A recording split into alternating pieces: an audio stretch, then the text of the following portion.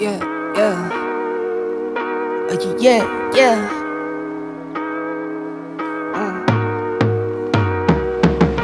Alright, what's your name what do you do?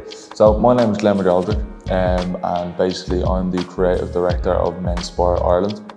So uh, basically, you know, about five, six years ago I moved over to the UK um, to work for Menspire.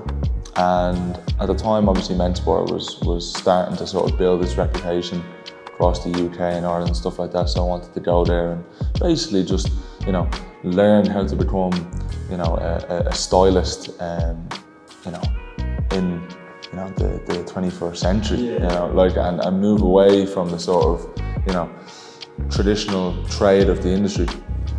And that was it, man. And sort of while I was there, built a very strong relationship with, with uh, you know, Samuel Palmer and Josh LaMonica, who are the founders of the brand. And luckily, while I was there, um, you know, got, got offered a partnership to come back and take take Menspire back to Ireland. So So what is it that you love about cutting style and that's there? What was the, the passion for it? That's a great question, man. Um, to be honest, like you know, this goes way back to even when I was in school because I wasn't necessarily academic. You know, I didn't really do well in subjects like maths, and, and you know, just it just wasn't my thing. And not, not that I was a bad student, but it just didn't appeal to me, and I knew that wasn't my strong point necessarily. I knew I was more practical. I Was always better with my hands. You know, better creatively and stuff like that. So when I left school, um, I actually really badly, uh, you know, I actually made a pretty pretty big mistake and basically didn't didn't get any of my college courses that were on the the CAO form, which is obviously what we use in Ireland for getting into college. And uh, yeah, basically all of the courses I put on that were far too high for the, the points I'd gotten. So I was left in the in, in, in the in the shit yeah.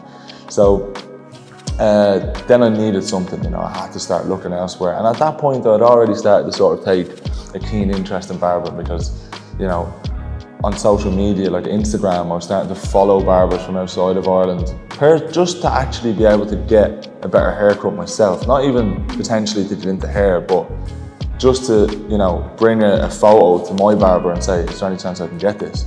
Then it started to occur to me that the industry was actually starting to evolve. So um, I knew that for me, it would sort of fulfill that creative, practical side that I had initially. Like for me, I could never sit behind a, computer. Like it just really, genuinely just just bored me, if I'm being completely honest. For other people, it's great and it suits them, but for me, I needed to be doing something where I was busy and occupied all day, and that fulfilled that. And then, you know, from, from the other perspective, outside of creative cutting, you know, barbering in itself is a very good business for people that have that entrepreneurial sort of ambition because not only are you cutting hair all day, but you know, people overlook you know the client building aspect of that, you know, which is huge. You know, being able to build a large clientele, retain a large clientele, that in itself is like running a small business. You know, um, if you look at it that way. So for me, it's always been about fulfilling the sort of creative aspect, but at the same time,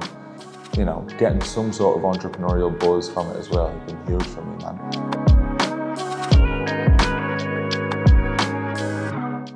Bit where we're sitting. So we're actually in the brand new Menspire Academy in Ireland, uh, in Phibsborough in Dublin.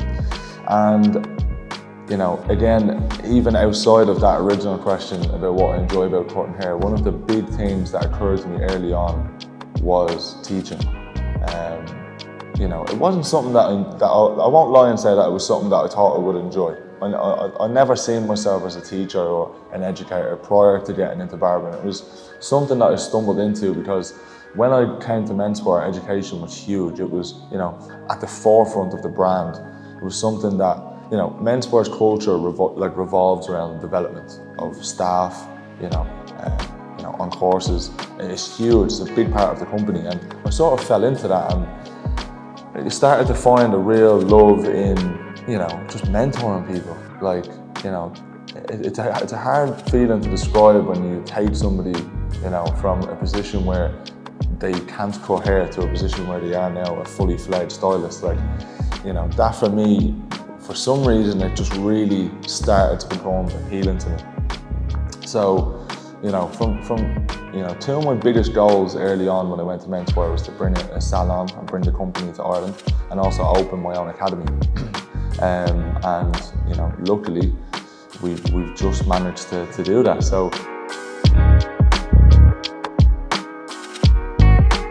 How important is it to look into the products you're? How much of an effect using that product have on the style of the process? man, this is crucial. And th- look, this is one of the big things that clients unfortunately don't understand. There's, there's still a large, you know, percentage of, of clients and lads that buy their product, you know, uh, when they go shopping to do their weekly shopping for food. Uh, you know, they'll pick up a random product off the shelf and just buy it with no real understanding of whether or not that product is going to benefit their hair, benefit the style that the hair is being worn in, and whether or not the product is even healthy or good for their hair.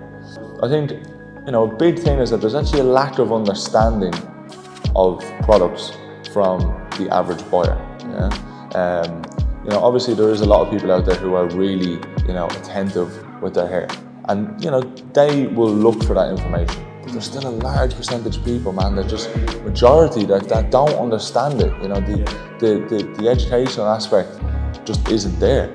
So um, you know, in companies like ourselves, like BluMaan, who are really pushing education on products, it's essential. Like, um, you know, it makes a client's life easier at, at, at the end of the day.